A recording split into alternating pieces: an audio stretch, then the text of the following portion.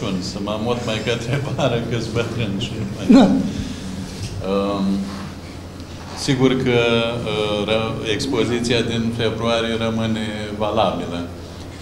Uh, iată că uh, Neanea Puiu, cum îi spunem uh, noi, colegii din filiala Neamța uh, Uniunii Artiștilor uh, Plastici, nu se dezminge și vine cu o expoziție uh, consistentă uh, atât din punct de vedere cantitativ cât și uh, calitativ.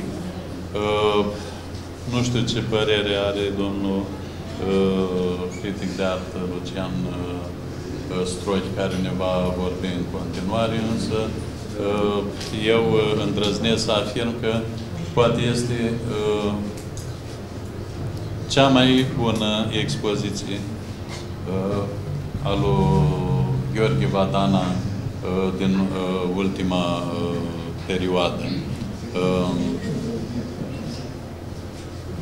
Surprinde prin forța și vitalitatea pe care o are la cei 89 de ani ai săi, însă se știe că în pictură abia la vârste înaintate poți să ajungi la o maestrie de genul acesta.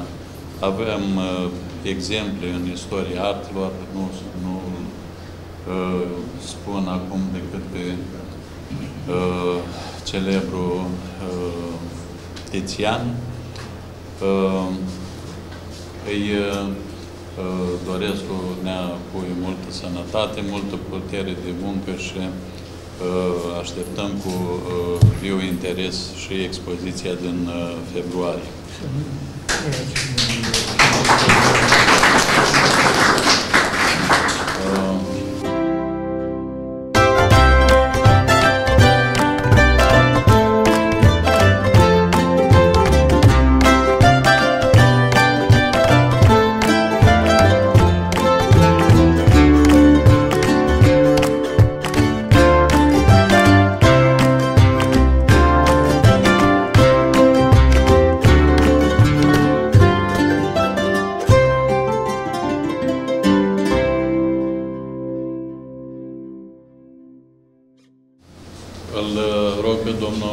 domnul Mihai Vadana să ne spună câteva cuvinte și apoi la microfon și apoi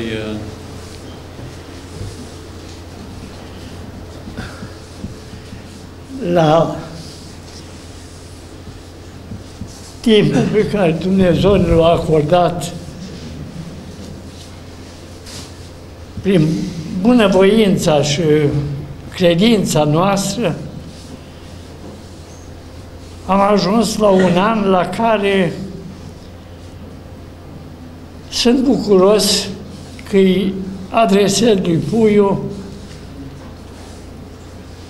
Toată dragostea mea pe care am purtat-o din copilărie și până acum și îl felicit pentru starea lui de voință de a ajunge aici la 88 și de a face cei ce fac cei la 18. Nu mă așteptam, sincer să vă spun, că anul ăsta vom participa la un vernisaj al lui la 88, dar m-am bucurat tare mult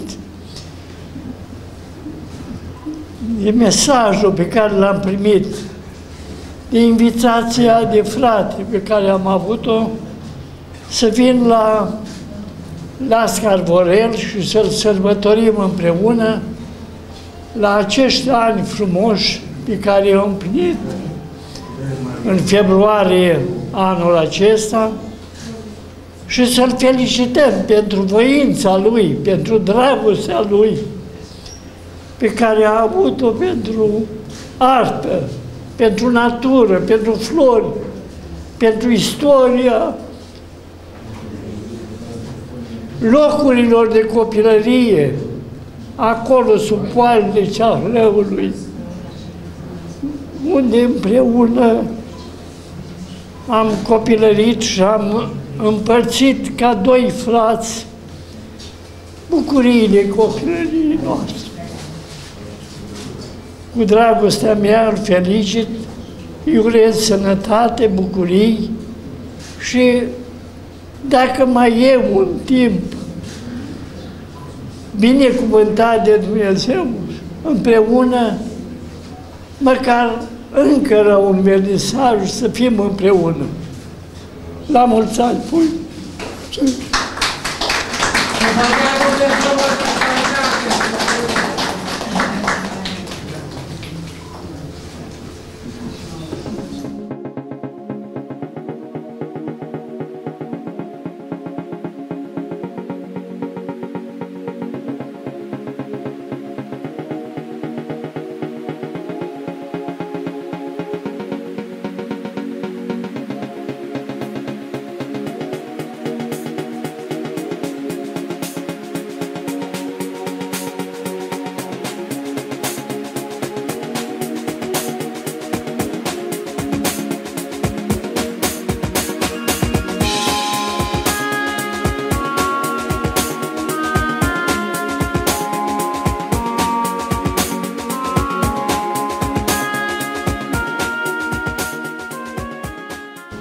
Ce să fac? Ă, n-am să vorbesc 88 de ani, deși aș fi tentat să o fac, dar am să încep cu o amintire dragă.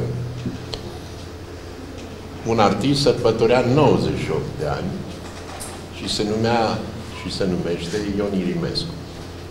Și o reporteriță foarte tânără a spus, maestre, să trăiți, să prindeți o sută de ani. La care maestrul s-a uitat așa trist la ea și a spus, nu mai atât. Nu mai atât. Și într-adevăr, am fost și la centenar și era, erau de față oameni din vreo 18 județe atunci, inclusiv uh, ministrul Răzvan Teodorescu și Răzvan Teodorescu i-a promis că îi va face o expoziție la Paris, la care uh, Irimescu a spus, da, dar mă duc eu, nu altcineva. Deci la 100 de ani se gândea să meargă la, la Paris. Asta ca să explicăm, într-un fel, longevitatea artiștilor. Ștefan Potop vorbea de Tizian și se referea la faptul că a fost activ, într-adevăr, până la 88 de ani. Dar uh, alt nume care îmi vine în minte e Picasso, care la 91 de ani încă picta. Dar, de fapt, uh, cădem cu toți într-o eroare pentru că artiștii nu au vârstă, ca și arta lor. Deci, uh, așa cum artistul este amoral, este și atemporal. Pentru că ceea ce propune el, artistul, are toate șansele să treacă peste cotidian peste ceea ce îndeopște știm. Și mă gândeam la dialogul artelor. S-a spus aici că e poate cea mai izbutită uh, expoziție, măcar din ultimul timp. Și cred cu sinceritate că nu s-a spus de complezență acest lucru. Într-adevăr, așa e. Dar uh, mă gândeam cum se întâlnesc spiritele artiștilor. Mergând în, în Franța spre Lyon, spre Marsilia, am intrat în ceea ce se numesc, ceea ce numesc francezii, țara lui Cezanne. Și era acolo, cu, cu siguranță știți, una din lucrările sale cele mai cunoscute este muntele Saint-Victorin. Mă uitam la ceaclău pe care ni-l propune Puiu Vadana și cred că, măcar pentru un timp, putem să spunem țara lui Vădană. Sau dacă vreți, o putem și traduce. Pentru că, într-adevăr, în timp, Puiul Vadana precum un demiurg, a început să-și construiască un continent al său. El face din parte din, din familia cuceritorilor și a descoperitorilor. Sigur, teritoriul e cunoscut, e zona aceea Clăului, dar de fiecare dată el vine și ne propune cascade, ă, munți, dealuri, ă, câte o biserică, câte un peisaj, perspective, în așa fel încât și-a populat acest, ă, așa cum Dumnezeu a creat diferite obiecte și a văzut că e bine, păi Vadana a pictat și munți, și uh, copaci, și cascade, și stânci, și a văzut că e bine. Și a continuat să picteze. Deci, odată spuneam că este un rapsod. Acum trebuie să mă corectez și să spun că este un înțelept. Și ca să închei cu ideea de vârstă, el are deja două treimi din vârsta lui Hristos. Hristos, știți foarte bine, ca reprezentare este 8-8-8. Păi Vadan ai deocamdată 8-8. Eu îi doresc să prindă vârsta lui Hristos, cea vârsta evident mitică, nu cea al răstignirii, Doamne păzește, nici nu se mai poate. Dar, dincolo de toate, trebuie spus că ceea ce și-a propus, a realizat. Sincer să fiu, mă întrebam câți oameni, într-o zi în care s-a zvonit că norul radioactiv trece peste Moldova și că e bine să stăm în case, vor veni la această întâlnire. Și iată că sunt mai mulți decât de obicei, ceea ce e foarte bine. Apoi mă întrebam, răspunzând unui telefon, cineva m-a, întrebat, chiar vine puiul Vadana? Se referea poate la faptul că în vreo două rânduri ai lipsit. Și zic, da. Dar de ce mai pictează? Nu, mi-a pus întrebarea și era un om de bună credință, adică nu, nu un cărcotaș, să ne înțelegem. Și am spus, pentru că nu poate altfel. Pentru că așa cum un scritor va scrie până când mâna îi va cădea, așa cum o mamă își va iubi copilul cât va trăi ea sau el, așa și pictorul va picta uh, cât timp va putea. M-a întrebat persoana, era o femeie, deci nu, nu fabulez. Zice, dar l-ați văzut cum pictează? Zic, nu l-am văzut acum cum pictează poate să mai picteze, adică mă întreba dacă nu cumva și-a legat pensula, precum Luchian sau ceva. Zic, nu, pictează și chiar uh, uh, vine cu lucruri interesante, zic, poftiți să vedeți. Nu știu dacă persoana va veni sau nu, asta e treaba. Dar, într-adevăr, expoziția surprinde prin, prin uh, câteva lucruri interesante. De pildă, nu mi-amintesc ca puiul să ne fi propus portrete noastră care îi cunoașteți foarte bine uh, opera, veți uh, remarca faptul că uh, puiul se ferește de portrete. Și totuși, dacă vă uitați, este un uh, portret acolo. E prima dată când văd un portret. Nu mă refer la personaje simbolice. Asta e cu totul altceva. Deci, portret, portret, în uh, regulă Apoi eu n-am prea văzut multe acoarele.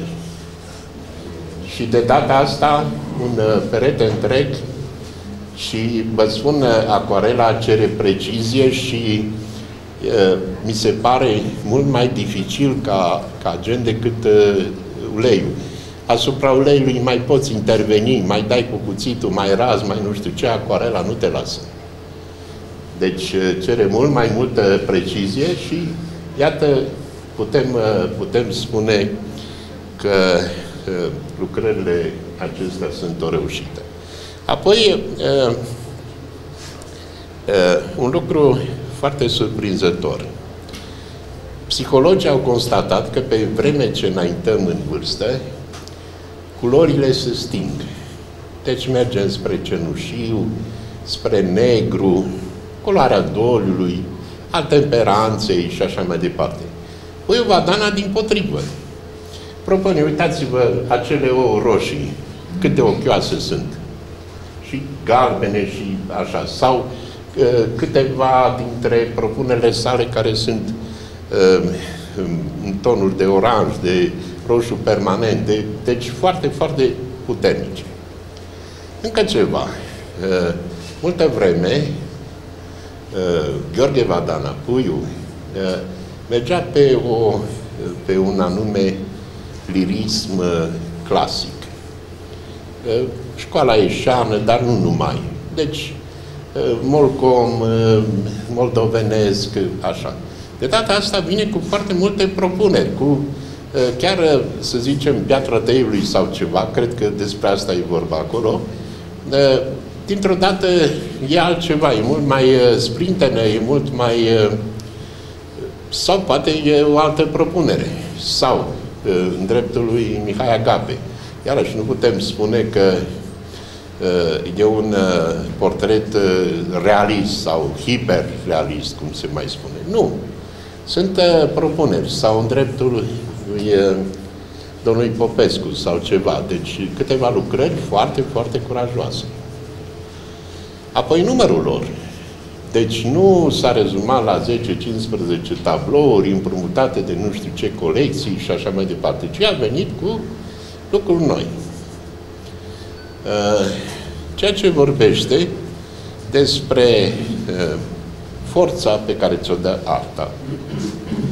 Uh, vreau să vă spun că, întâmplător sau nu, discutam cu un prieten de-al său și evoca tinerețea artistului. Uh, n-am să-i dau numele, e prezent în, în sală, știe la ce mă, mă refer. Și evocam aceste epopei pe care le-ai trăit. Deci nu numai, adică dimensionările acestea în timp și în spațiu, nu se refera numai la ascensiunea spre munte, ci și la canale și la altceva și știi foarte bine la ce mă refer. Apoi dimensiunea umană, autoritatea pe care o reprezintă. La un moment dat, când doi pictori se mai certau, autoritatea uh, supremă era puiul. Veneau la puiul și se împăcau. Pentru că el era conciliant, el știa să pună lucrurile, știa să îmblânzească totul și așa mai departe. Și în fine, uh, faptul că, uh, iată, la această vârstă, e un exemplu pentru toată lumea. Și pentru artiști și pentru noi este ceea ce se numește un om al cetății. Un om al uh, cetății și ar spune că este esențial pentru uh, această urbe, este un uh, erou și nu glumeam, spuneam că undeva ar trebui să existe o lege, o lege a firii, care spune că persoanele peste 85 de ani să fie declarate eroi, să fie de, declarate eroi pentru că au câștigat cea mai importantă bătălie posibilă, bătălia cu viața. Deci să învingi 85 de ani e deja o... E foarte simplu să mor la 21 de ani cu un glonț în inimă sau ceva. Foarte eroic. Dar să trăiești 85 de ani, 88 de ani, 90 de ani și așa mai departe. Țin minte că acum vreo, vreun an sau doi, Eram la Valică Oatu și uh, era o expoziție Badana și constataserăm cu surprindere, cu bucurie, că cei trei frați aveau o vârstă aproape incredibilă, se apropiau de 300 de ani. Deci, uh, oricum, 200 și... Mult, mult. Și atunci m-am gândit că acest neam uh, al dacilor din care se trage și el, și a românilor de mai târziu, este într-adevăr longeviv. Și ca dovadă fratele și ca dovadă uh, rudele și așa mai departe. Ce pot să spun? Chiar dacă, dacă memoria nu mă înșală, pe 3 februarie, ziua nașterii, să considerăm că ziua de astăzi s-a răsucit așa, într-un fel, și tot o zi de renaștere, pentru că el este un artist al renașterii moldovenești, și că e ziua lui de naștere și să-i mulțumim la mulți ani.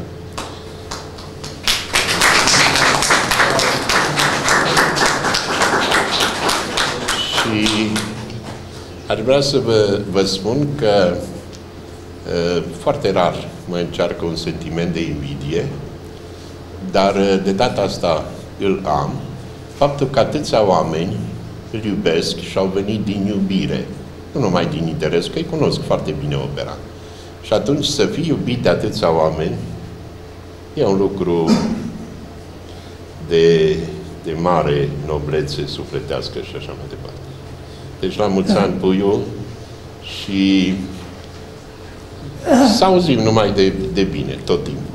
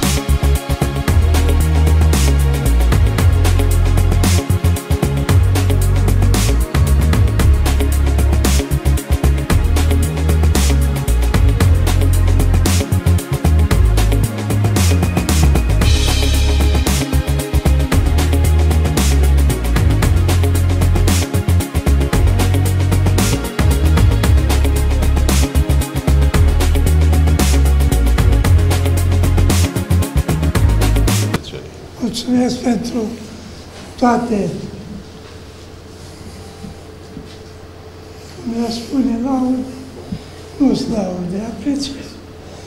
Deci aprecierile care s-au făcut aici pentru munca mea, că nu este altceva, și dragostea mea, în afară de familie, în înainte pun Dumnezeirea în care cred m-am născut și au grijă, probabil,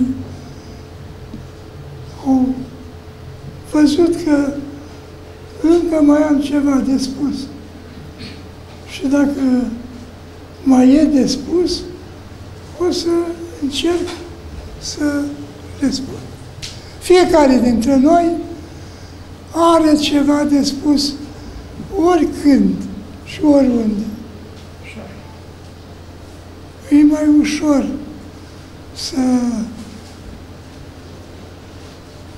spunem oamenilor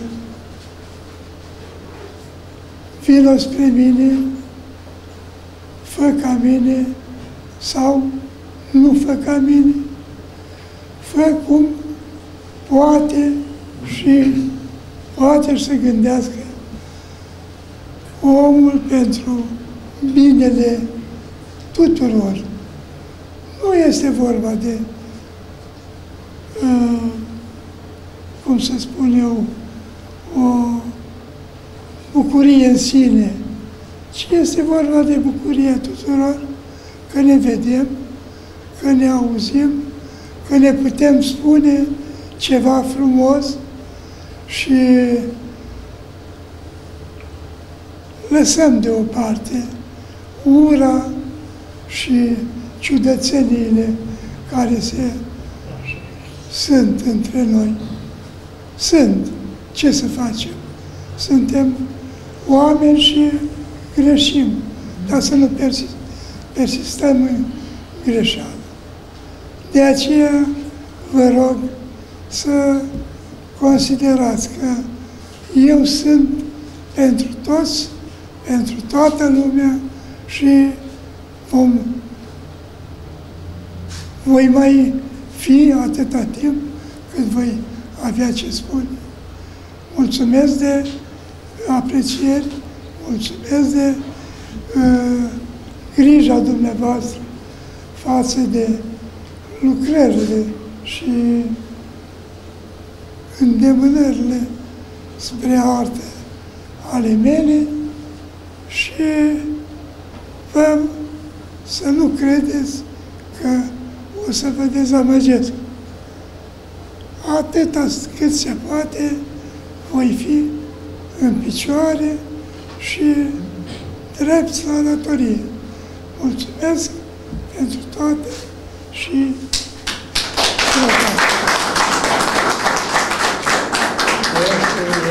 Thank you.